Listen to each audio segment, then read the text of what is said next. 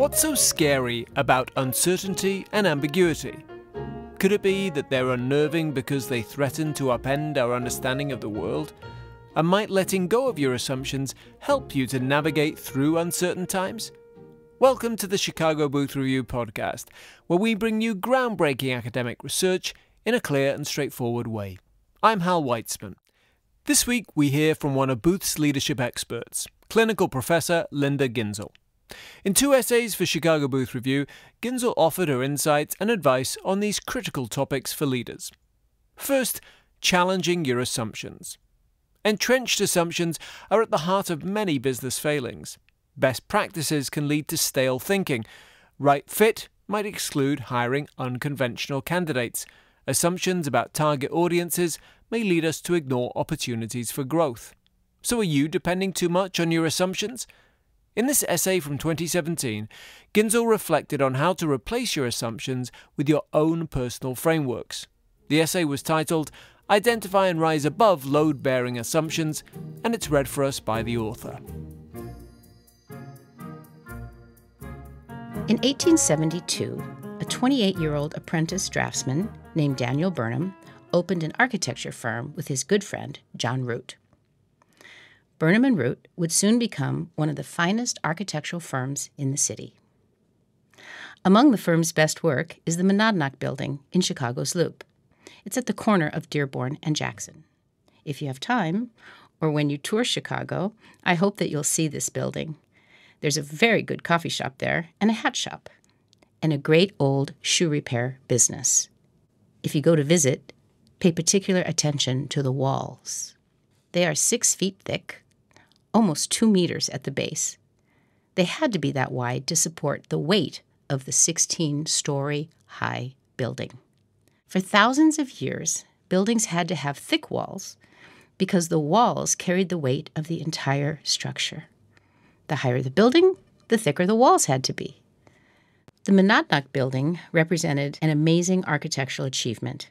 It was the tallest load bearing building ever built and it was the tallest office building in the world. John Root called this building his jumbo. It was his last project because he died suddenly of pneumonia while it was under construction. But the Monadnock building was a great achievement, and it also represented the limits of an age old concept. It made sense that the walls had to be heavy and strong in order to hold the weight of the building. But with load bearing walls, a building can only go so high. As the ambitions of city planners and residents rose, so did the desires of architects and their clients to build even higher. But how could you build a really, really tall building without building really, really thick walls? A man named William LeBaron Jenney came up with the answer.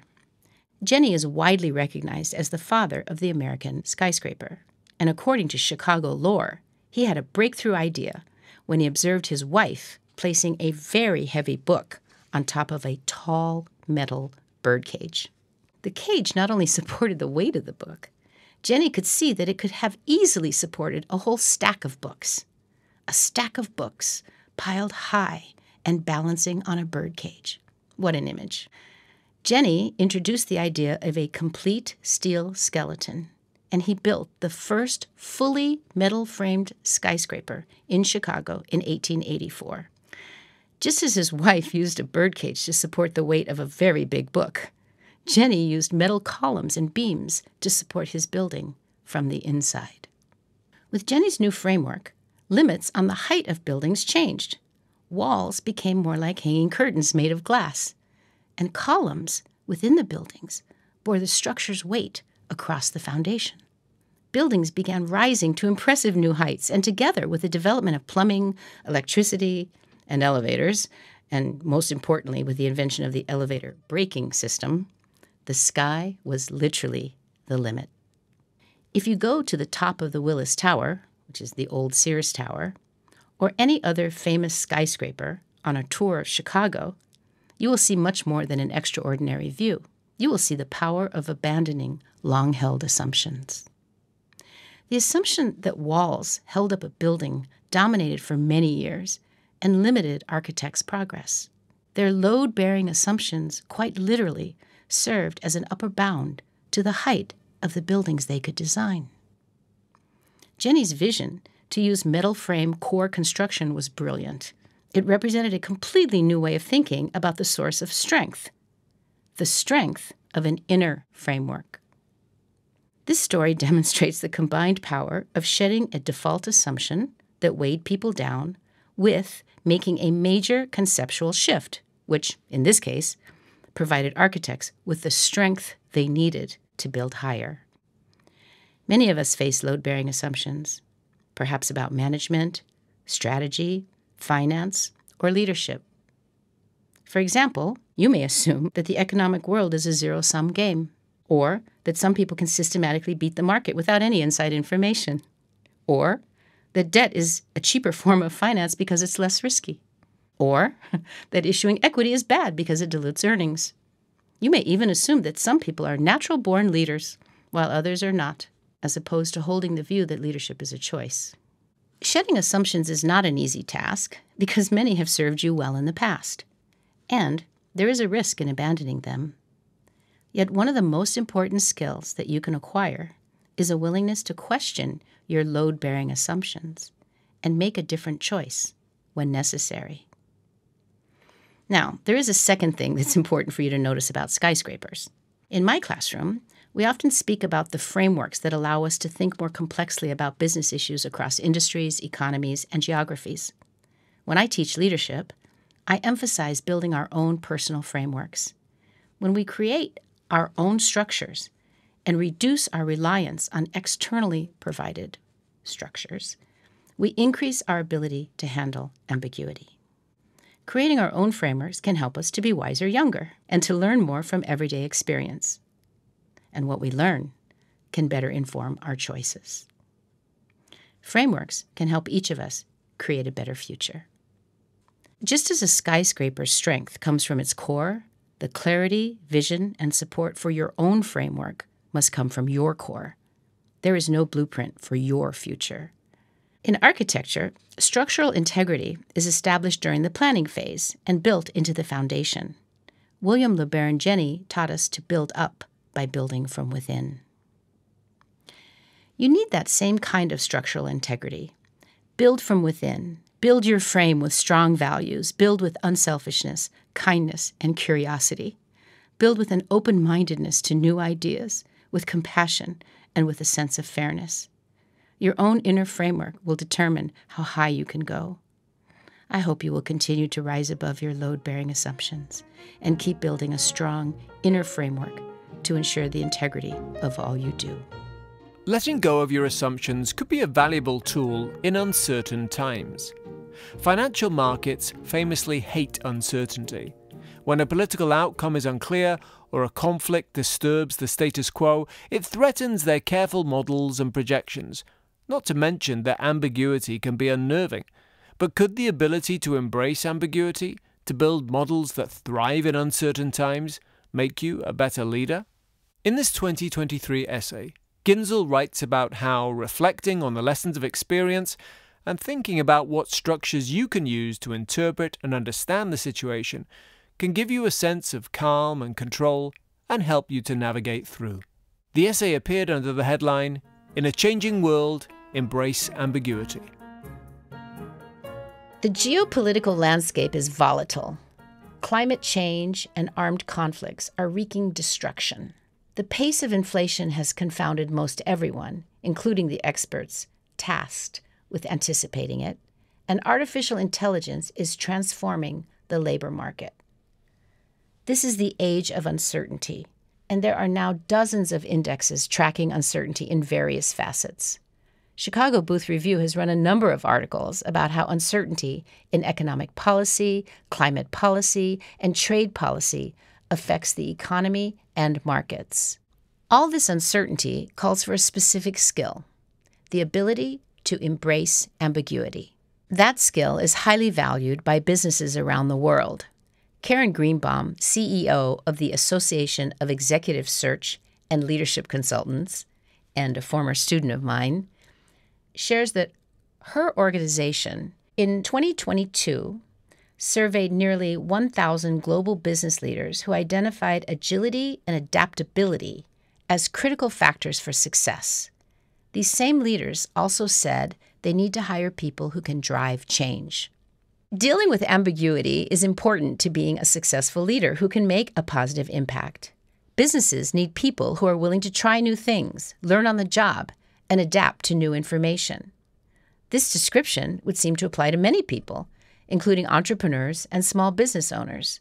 Yet, the survey by Karen's organization suggests that these sought after skills are in short supply. That demand outstrips supply is good news for anyone with this skill set to offer. But in my experience, teaching leadership to thousands of executives, I find that the ability to deal with ambiguity is often underappreciated by my students and ignored by the leadership industry. All executives should develop this skill if they haven't already. Greenbaum suggests that you demonstrate it and highlight it in your professional brand through specific examples. Foundational principles of social psychology teach that leadership can be more about a situation than it is about a person. When a situation is evolving, executives need to evolve too. Start by centering yourself in this moment of change. What skills do you have that have proven helpful? What has inspired you? And what inspires you now? Then, develop your ability to learn from new information. Most people I encounter are high achievers and extremely good at learning new information. Yet they can struggle when it comes to learning from new information. In an environment of change, it's well and good to have a foundation of information on which to build, but you must be able to continue learning throughout your life. And much of that learning comes from the lessons of your own experience and the experiences of others. A student of leadership can turn just about anything into a personal development opportunity. You can learn from novels, movies, and observations of other people's lives. Sometimes such reflection happens spontaneously, but it helps to create a structure for collecting, organizing, and making sense of information you take in from these experiences. To guide people toward this, I developed an exercise called the Vicarious Learning Framework. It prompts people to create a framework through which they will filter incoming data. My leadership students have used this activity to learn life lessons by observing the behaviors and habits of successful athletes, entrepreneurs, and friends. They've also focused on vicarious learning to develop their skills in taking risks on the job, collaborating in their communities, parenting teenagers, and balancing career and family. The instructions are purposely ambiguous and many students initially struggle with them. You might too. In class, I show students examples of previously created frameworks to reinforce the idea that a structure resulting from this exercise can take any number of forms a journal, a spreadsheet, a flowchart, an image, or something else entirely. Part of the challenge of this assignment is to recognize the ambiguity involved and put some parameters in place that ultimately give you focus. The exercise also requires accepting that no one sees or understands the world exactly like you do. So, this isn't work that you can expect anyone other than you to do. You are responsible for your own learning, and that means understanding and somehow explaining, even if only to yourself, how you take in and process information. When faced with an assignment that provides murky direction and no obvious conclusion, where do you turn? Inward. It's up to you to make the situation clearer and concrete and you must create this structure on your own terms. Ambiguous times call for structure. Think of forecasters of all ilks who predict everything from weather conditions to asset returns. Charting an unknown future, they create a model for what it might look like and use that model to guide decision making. Structure helps organize information. Accountants are creating the framework through which we measure the costs of climate change. In medicine, scientists are creating vaccines, devices, and practices to help society confront an ever changing set of public health challenges. We know from a large body of research that people want closure. If you dread ambiguity, navigating an uncertain situation for years on end can be exhausting. Staying in the question, as I sometimes call this, can provoke anxiety. But that tension can be productive. The Zeigarnik effect, named for the late psychologist Bluma Zeigarnik, holds that people remember an unfinished task more than a finished one. A person who embraces ambiguity can find it exhilarating. To be successful, however you define it, you need to see that big opportunities are in the unanswered questions, not just in the answers you already have. Once you truly learn to learn, you understand that there's no straight line to success, only a path forward. And you use the information you take in to determine your next step. That's why it's so important to embrace these changing times.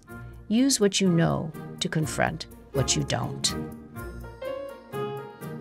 To learn more about Linda Ginzel's approach to leadership and to apply it to your own career, find her masterclass on leadership capital at chicagobooth.edu/review. There's 7 lessons there that will help you lead more effectively. That's it for this episode of the Chicago Booth Review podcast, which was produced by Josh Stunkel. If you enjoyed this episode, please subscribe and please do leave us a 5-star review. I'm Hal Weitzman. Until next time, thanks for listening. Goodbye.